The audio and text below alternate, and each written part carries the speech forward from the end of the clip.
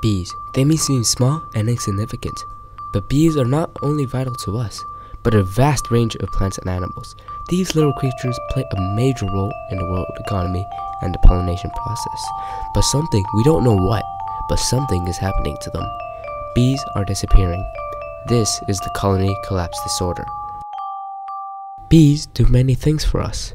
They pollinate not only for our own economy, but for the plants too. According to the BBC, one third of our food requires pollination, and bees play a major role in this process. They pollinate over 70 types of crop.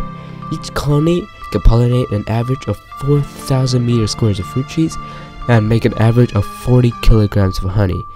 In total, they make about 6,000 tons of honey and contribute to 400 million euros, which is 530 million US dollars to the global economy. Bees are very precious both to us and the ecosystem. Unfortunately, they are disappearing at alarming rates.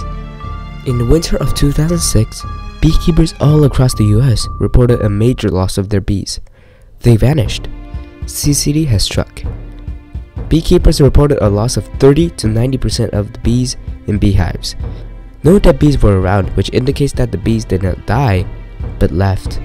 The Environmental Protection Agency says that there were abundant amounts of pollen honey, so the motive of leaving the colony is unclear. There are many suspicious causes of CCD, like changing habitats or the cause of the few emerging diseases, but some have been ruled out, like the pesky varroa mites, as they were a big problem to the bees. There are many possibilities to the cause, from normal immune suppressing to the Russians using satellites to steal the bees, which personally I think is highly improbable.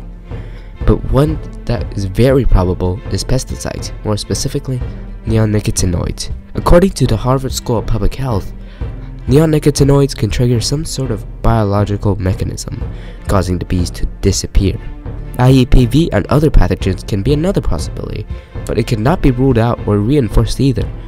But now scientists are doing their best against the unknown cause of CCD. Scientists are now doing their best to find the cause of CCD. If we run out of time, it does not only affect us, but it also affects the entire ecosystem, as bees were vital to many plants' pollination. Scientists are already working on many solutions, even though they did not find a definite cause.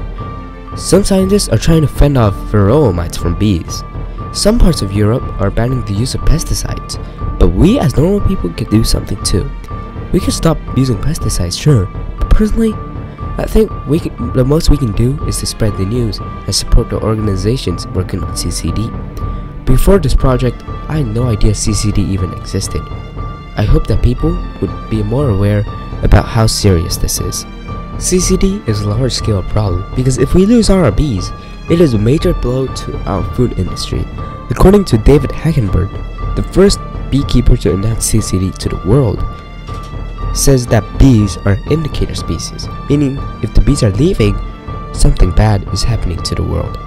I hope people can take this seriously.